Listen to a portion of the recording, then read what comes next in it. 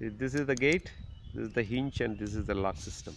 What you should do is say take something sharp over here give some pressure. Just open. and stop.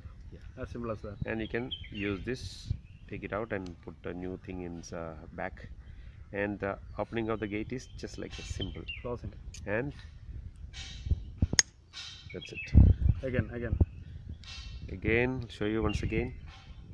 Open that's it just use anything anything thin and strong and it's open And, and once you open it this is the hole Hmm. that uh, prop the prick should uh, go in. This is the this is the hole in which into the sharp uh, uh, item should go and then pop it up.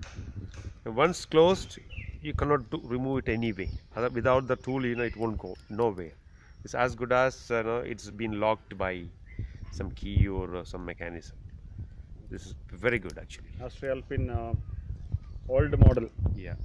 Uh, it's a, this is actually 9 kN AustriAlpin uh, Mailons, which is strong. I think it was being ded- dedicated for paramotoring those years. I think this is AustriAlpin. You can see it, AustriAlpin 9 kN each one. Yeah. Okay.